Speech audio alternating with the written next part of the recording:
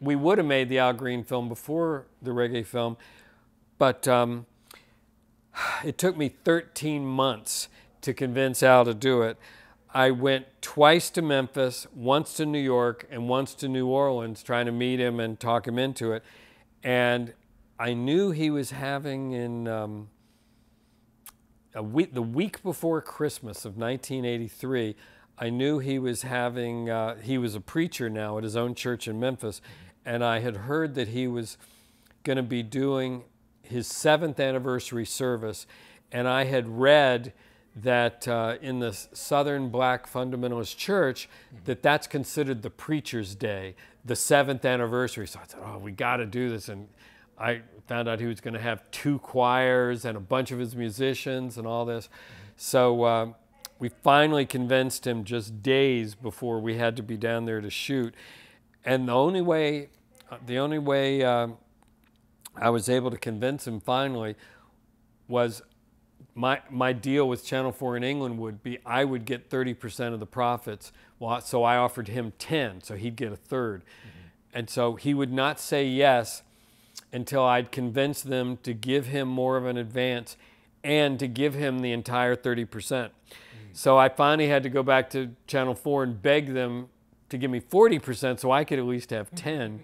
Look, I need you. Oh, I want you. I can't help it. I need you.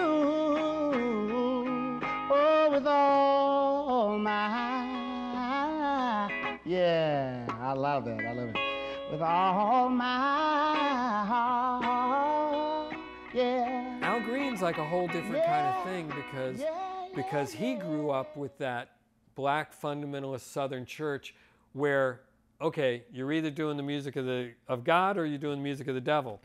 And he was his his crises came from his becoming a success in soul music and um, and him getting all this money and getting all these women and and then starting to do the alcohol and the drugs and stuff and then starting to like fall off the stage and uh, and then having that woman shooting um, allegedly you know put throw grits hot on. grits on him and then shoot and kill herself and all that um, Well, he tells that story in your film. he does. That was the first time he had ever told it.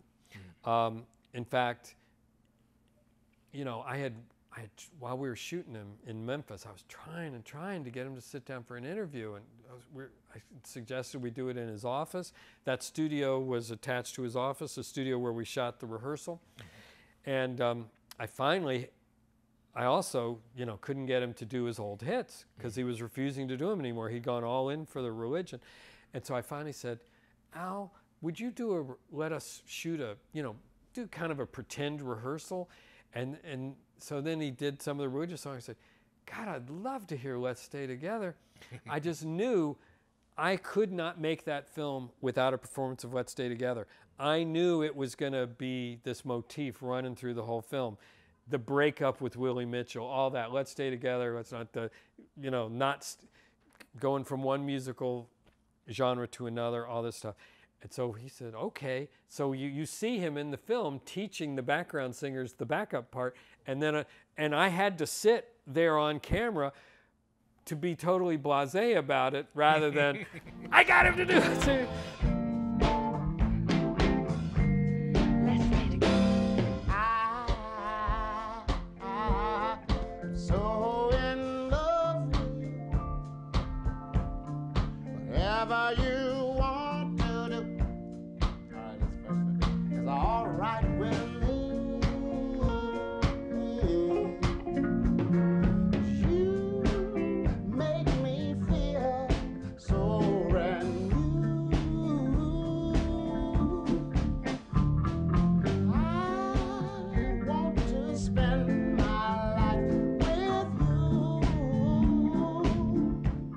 Just had the one Steadicam uh, shot. It was a different cameraman, but um, but so then after we filmed the interview, uh, I'm sorry, the rehearsal, he said, "So you want to film that interview?"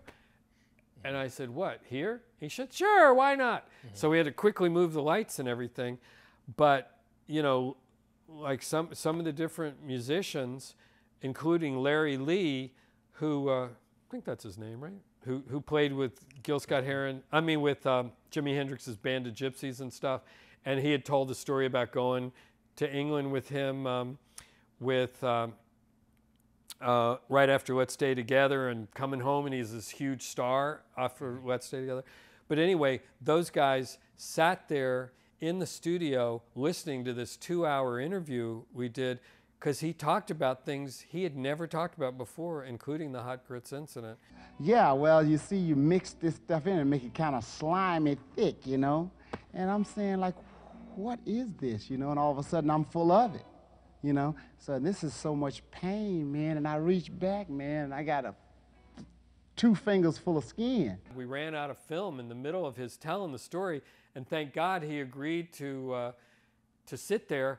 And I just kept like engaging him, talking You had the until we got the ne- next magazine loaded and back on the camera. And then you actually see the cameraman walking across as we got it set up again. When Andy Park asked me to make the film, he made me put myself into the film, and um, I didn't like it. And finally, uh, uh, when I showed it at the uh, it was called Filmex. It was a festival in LA at the time, and uh, we had two huge screenings of it there. Cybill Shepherd even showed up at, at uh, one of them uh, at the time, and uh, people started to snicker with these sequences I put in with myself, and um, you know, sitting at my editing table, musing on on um, religious music of different types and and um, and religious art.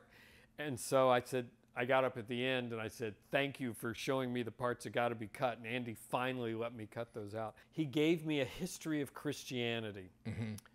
and he said, "I want this to be from the European perspective, this film. So I want you to know the history of Christianity from a European viewpoint. Mm-hmm. So I read this book. It was actually very good. It didn't really tell me anything I needed for that film.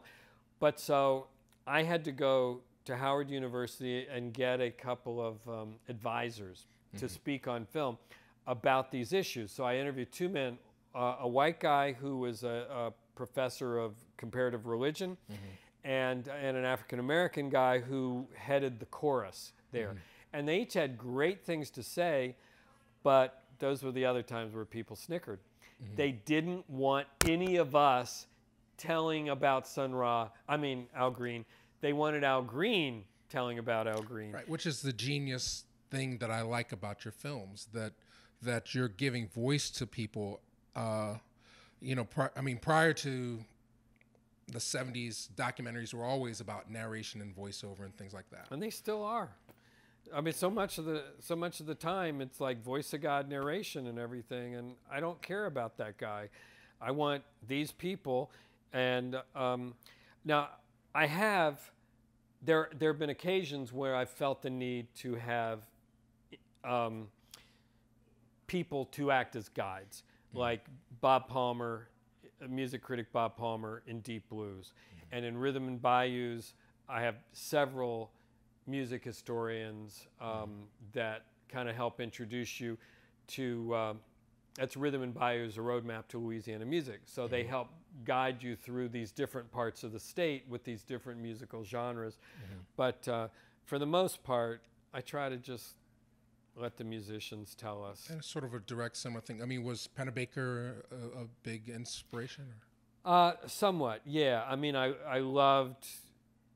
I, I would have edited it differently, but I love "Don't Look Back" with Bob Dylan and Monterey Pop and and uh, a lot of the other things he did. And and it was funny when uh, when I uh, almost got to work with Stephen Sondheim years ago before uh, before he decided that um, they were ha- he and his collaborators were too much in conflict and he decided that um, they needed to be able to say tough things to each other and he finally got to be afraid that if cameras were there he wouldn't be uh, in the in for the per, lead up to the make to the Broadway production of Sunday in the Park with George, so we finally had to give it up.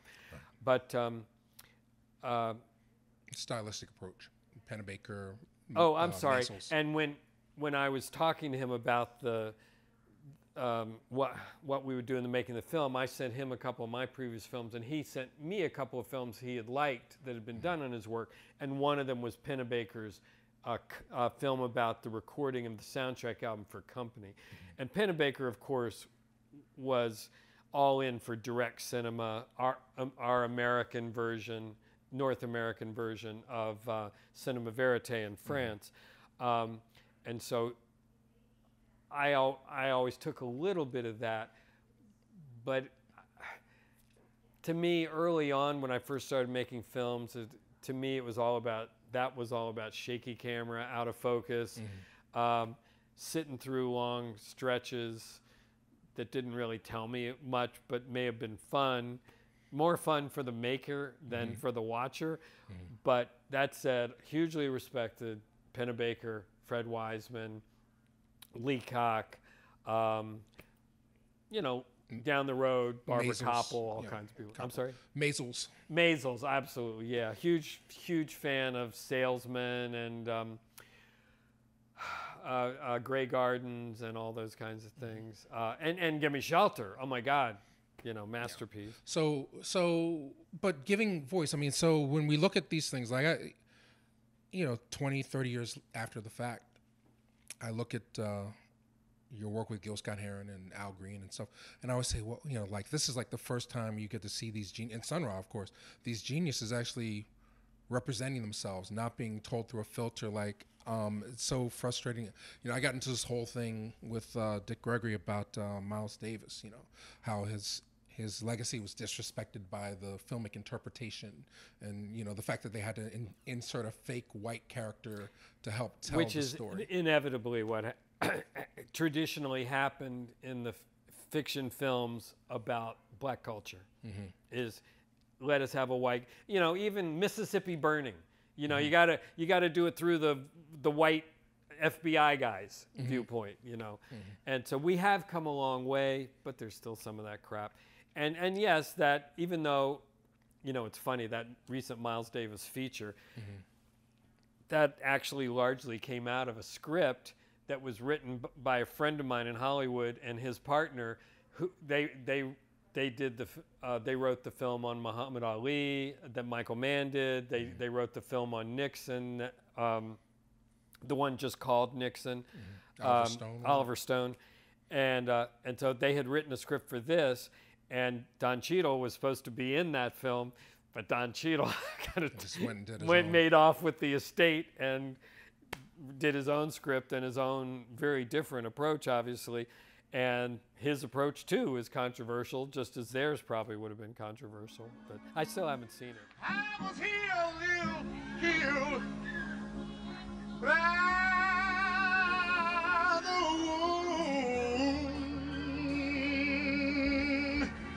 wound